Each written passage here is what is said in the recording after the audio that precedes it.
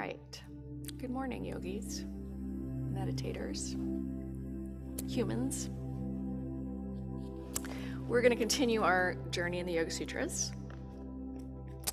And today we're on Sutra 129, which references the last two sutras. So, for sake of um, just context here, Sutra 27 um, spoke about the sound of Om, the mystic sound of Om. And then 28 said to repeat it with reflection on its meaning helps, is an aid.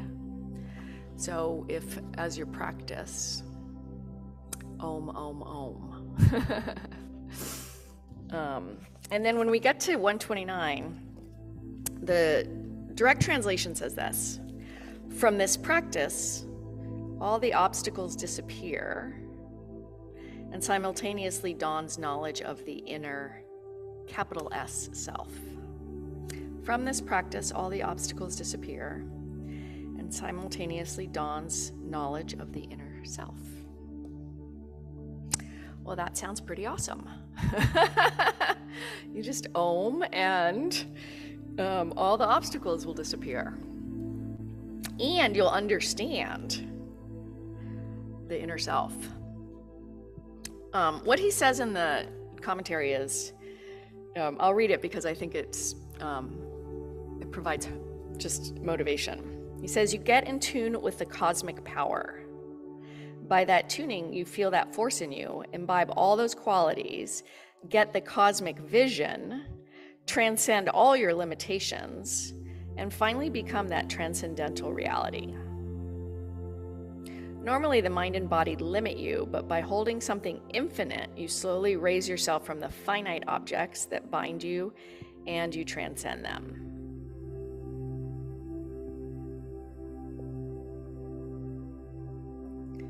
Sounds um, pretty great. And mindfulness of a sound or a mantra is the path. Now, there's a lot more left in this book. so, what he's pretty much saying is the path is simple, um, but it's not necessarily easy. And the way we start is by learning to focus the mind through these practices. So, um, the really the first stage of our practice is to learn to concentrate, and a syllable or a mantra is the tool that he recommends. Um, our mind, however, is designed to think and do more than just repeat. Um, and so, how does it work? What he's saying is that if we can learn to focus our mind through japa meditation, repetition, or other methods, then we'll start to understand the nature of reality. Um, and in my experience, the mind goes away from that concentration on the object into other states.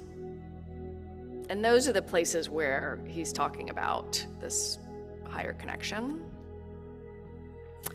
But the path to get there is through concentration. All right, so when we're wandering around in the world distracted by everything, it's unlikely that we're going to see the nature of reality because we're getting so much input. So the practices narrow our attention in a way that allows us to have more awareness of the nature of reality not distracted by all of the things that are constantly trying to fool us, you know, the objects of desire and aversion.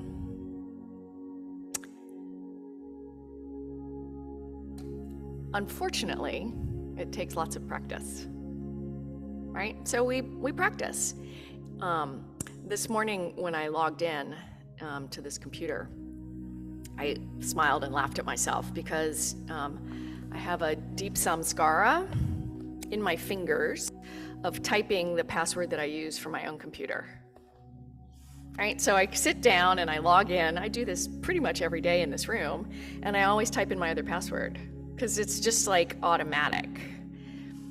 Um, and but that's what we're trying to create through these meditation practices. We're trying to create an automatic place of stability so that we can come out of distraction and into attention.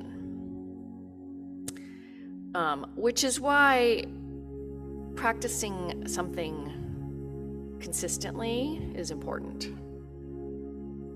All right, so if you change your mantra every time you sit down, it's not going to be there for you.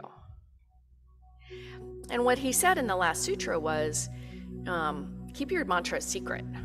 You know, we can take that or leave it, but I can't tell you what your mantra should be. I don't know your inner spiritual leaning, longing. Um, I can suggest you use the breath, but if you have a mantra that has meaning for you, um, spiritual or secular, whatever it is, um, my invitation is to stick with it. Even if it's breathing in, I know that I'm breathing in. Breathing out, I know that I'm breathing out. Any questions or comments before I throw you into a mantra meditation that's a little bit on your own? Um, I won't be telling you what to say or do. I'll be inviting you to anchor your attention on your mantra. Okay. And if you're new to this and you're still trying to find your way, just pick something for today. And if it's not your thing, you know, you've got time. Okay. So, with that, I'll invite each of us to take a seat on purpose. Take your last sip of coffee, move your cat. and then, when you're um, situated, Close your eyes or lower them so that your attention comes more inward.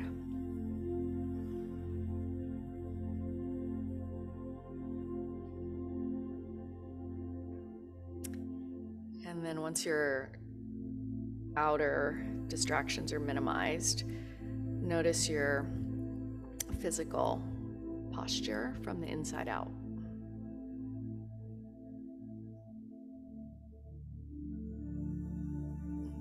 Create your your seat as a supportive foundation. Maybe your feet, if I'm sitting on a chair, so my feet are touching the floor on purpose, they're grounded.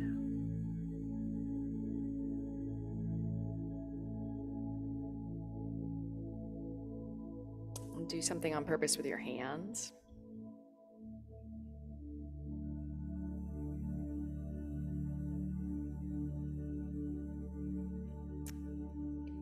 Create your posture upright, alert, and relaxed.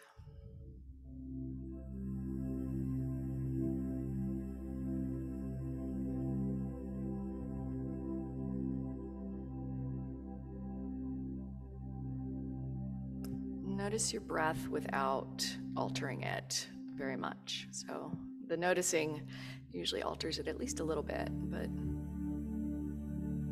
aim to just rest your attention on your breath.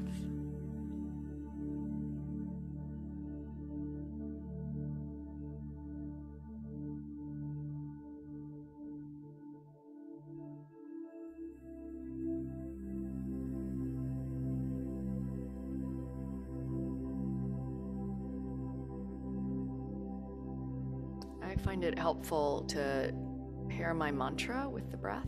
So there's a connection between my attention and the rhythm of my breath.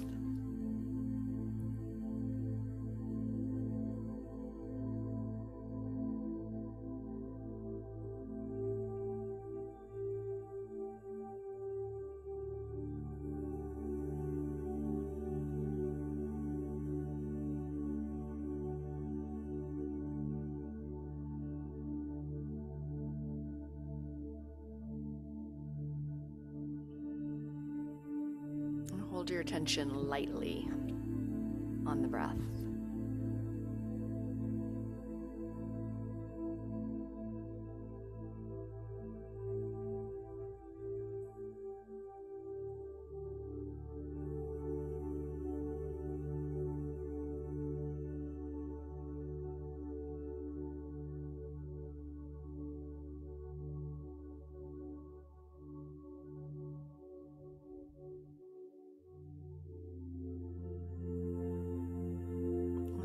Practice today, I'll draw you back with my voice a few times.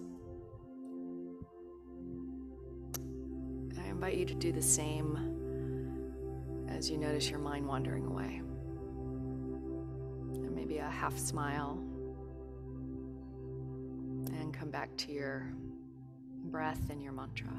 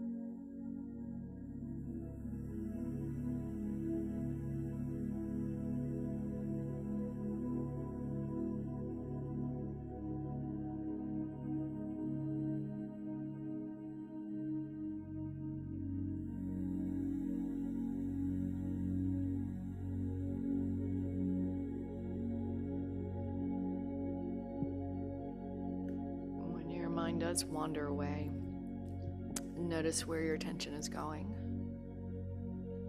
Just acknowledge what's drawing you in. And maybe a little half smile. And begin again.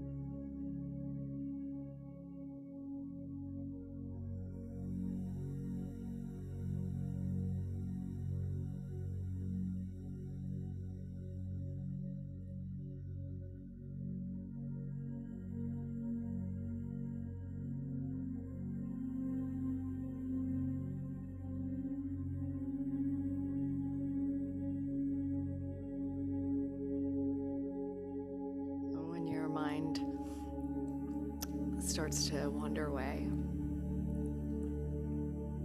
Like you're training a puppy with a gentleness.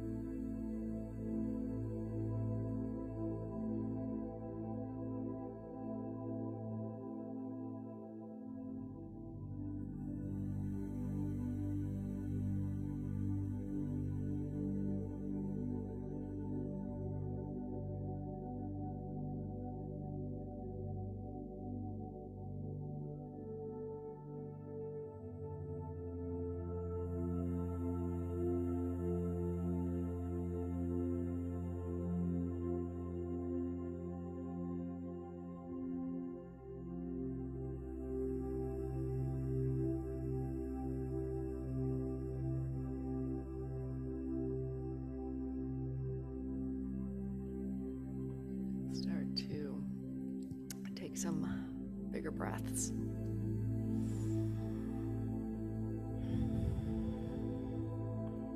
At least one more nice big breath.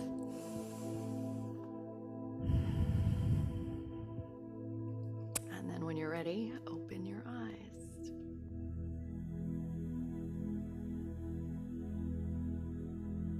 So, um, um, my dad hi dad, um, asked me once kind of a little bit about my practice and how I know what to do. Um, what I read, what I study.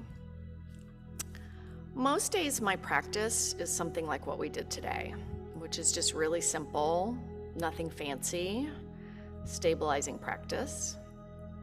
Um, usually on Saturdays, um, I do some kind of deeper study and reading and just working with a little bit more um, just a feeling tone or an inquiry in my practice. Um, and I'm not saying that's the right path to do this, um, but my experience has been that some stabilizing practice is a good foundation. And then when we need to really look into something that we're dealing with or do some deeper work, um, we have the stabilizing practice to come back to if it gets a little bit unsteady. All right, so um, one of my favorite quotes is that I think it's from Thich Nhat Hanh, and that meditation isn't a serene encounter with reality. It's like sometimes it's facing our hard stuff, right? It's not just all rainbows and unicorns. But we do need to be able to, especially since it's usually a solitary practice, to be able to like bring ourselves back to a place where um, we're okay. So the stabilizing practice is a good foundational practice. Um, not necessarily using it all the time and avoiding dealing with whatever your meditation can help you with, but to use it as a place to come back to if you need to. Any questions or insights or anything else you want to share? It's hard to meditate with these cats around sometimes, you know, and it not to be funny, especially this two-eyed cat. She's all she's all around, so I'm trying to I can't even find a spot to do it by myself because they're always around, you know. And if I shut a door, she's scratching at it. So I'm learning to literally block everything out and just kind of keep going, which is a little tough, but useful. Yeah, yeah, right, right. Because the real world's like that. Right. That's just my dilemma. I mean, the other thing that I'll offer is if you really need a moment, go get in your car. I mean, sometimes I do that. If I can't like get it at home, I'll just go to work early and sit in my car. but it's I mean, you're right. It's practice. Like the world is full of noise and if we can learn to find peace in the middle of it, that's good practice.